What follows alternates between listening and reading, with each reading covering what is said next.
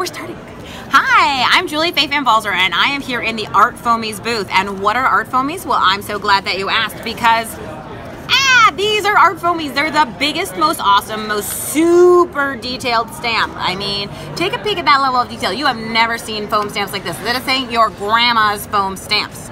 So they're super easy to use. Now, of course, the normal way that we've all used foam stamps is you take some paint, you take a brayer, you stick it on there, and you go ahead and stamp it. That still works. But our foamies have made it even better because they come with a stamp buddy. And a stamp buddy is a really cool reusable thing. So the very first thing that I'm gonna do is I'm gonna go ahead and I'm gonna just get some stamping ink on here. And yes, you can use these with paint. You can use them with stamping ink. You can use them with, you know, uh, fabric paint, paper paint, acrylic paint, whatever it is that you want, okay? Then I'm gonna stamp onto the stamp buddy. And now I can see the sort of vague outline of my stamp. Once that's done, I'm gonna go ahead and take some paint and I'm just gonna pour it into the Stamp Buddy, if any paint will come out of the tube. That is actually a prerequisite for putting Stamp in Stamp Buddy. It has to come out. There you go.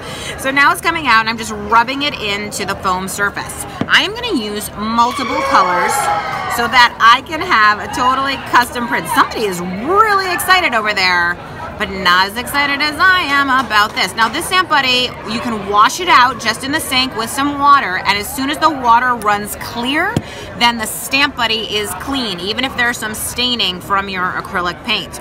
So what kind of acrylic paint do you need to use? It's literally anything. And again, we can mix brands, we can mix colors, we can go crazy. You just want to get some paint into there. We're essentially creating a custom paint palette, which I think is really exciting. So I have to use some turquoise because I have to tell you, like so many other people, I'm completely obsessed with turquoise. And what I'm going to do is just put some sort of lumpy bumps of the paint out. And then I'm going to go ahead and use, I bet you have one of these. It's an old hotel room key and I'm just gonna spread the paint into the palette. So people often say like, how many times can you reuse this? And the answer is as long as you never let the paint actually dry into the Stamp Buddy and you wash it out while the paint is still wet, then you can reuse it forever and ever and ever and ever, which is awesome to know. So I'm just gonna go ahead and add a little bit more paint. And you know, I'm a sort of a crazy color girl, so I'm gonna be a little inconsistent and I'm gonna add a different color blue because I like to be a paint rebel. So I'm just gonna go ahead, throw this in here, get it going. Now, what kind of designs can you get? Well, it's really whatever kind of artist you are. You can get designs that are images, you can get designs that are abstract, you can get any kind of design you want. So I'm gonna go ahead and I'm just gonna squeeze out even more paint, just making sure that every little inch is covered and colored, and we are gonna make something so spectacular. Okay, so I feel like we're ready to do this thing. Okay, ooh, I got paint all over because I am messy. You know what you do when you get paint all over? Let me show you this incredible technique. It's unbelievable. Are you ready? Okay, oh my gosh. Now I have a painted background instead of a white piece of paper. That's amazing. So I'm gonna go ahead and I've got my stamp and here I am. I'm pushing it right into my Stamp Buddy just like this. And if I go ahead and I pull the Stamp Buddy up, you can see that the paint has covered the stamp. So I know that I'm ready to go. So I can just go ahead and print it Look at that beautiful custom print, right? Super cool. So I'm gonna go ahead and stick it back into the Stamp Buddy and I'm gonna keep going. And usually you can easily get more than one print off of one inking. So I have covered fabric, yardage, I have covered wrapping paper. I have done all kinds of things and all I'm doing is just using this Stamp Buddy over and over and over again. So I know what you're thinking. You're thinking this is a huge piece of paper, Julie, and you are gonna cover it in no time at all, but you still have all this paint Stamp Buddy, and I'm be like, whoa, whoa, whoa, don't yell at me, okay? It's gonna be fine. So what we're gonna do is we're gonna go ahead and we're actually gonna use a different stamp with the same Stamp Buddy, which I think is just super wicked, awesome, cool. So here you go. I practically want to stamp on the table. And by the way, how do you clean the Stamp Buddy? I'm so glad you asked. All you do is take a piece of paper, and if it stops having any paint on it, Stamp Buddy is clean. Why waste time cleaning when you could be crafting, right? So, check it out. Here is my Stamp Buddy. I can take a smaller stamp and I can go ahead and just ink it up into my Stamp Buddy. Let's flip the page and you can see what that looks like right here. Okay, super cool. I can take a different shaped stamp and I can go ahead, even though it's not quite the right size, I can just go ahead and move it along. You can see some of the ink on there. And now I have a beautiful custom colored print like that.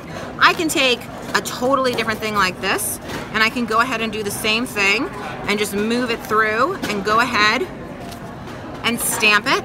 I can take a bigger stamp, again, another circle, and I can go ahead and move it through and see what kind of custom print I can get with that.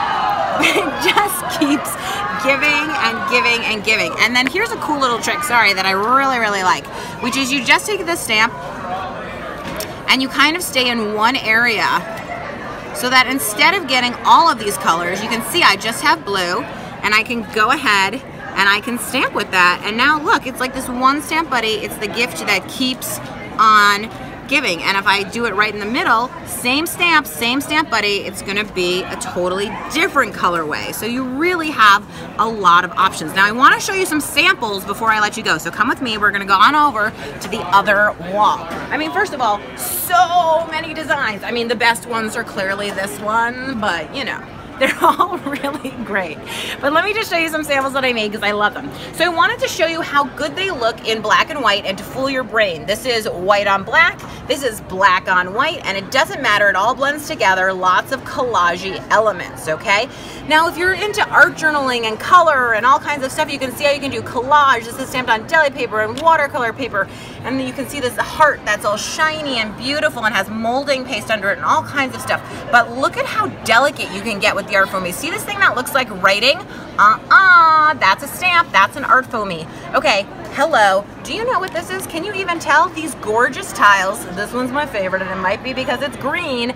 This one is paper clay, that's all it is, and I covered it with tar gel after pushing the art foamies in it. Art foamies are fantastic with clay and they actually sell a harder version of them that you can use with clay really easily or you can use your regular ones for a light impression. How about surface design? I showed this great little quilt to somebody and they actually thought I had just taken a piece of printed fabric, right? And I was like, um, hello, no, I actually printed that myself. So whether you are a homemaker, mixed media maker, a painter, a crafter, a creator, a quilter, a human being with hands, you are gonna wanna use some art foamies in your artwork. So check it out at artfoamies.com. You can also purchase there. Remember, the prices are all in Canadian dollars. And of course, come on over to my website at balzerdesigns.typepad.com. Thanks for watching. Be sure to give our video a thumbs up and subscribe to Scrap Time videos on YouTube to be the first to see all our videos from Creativation.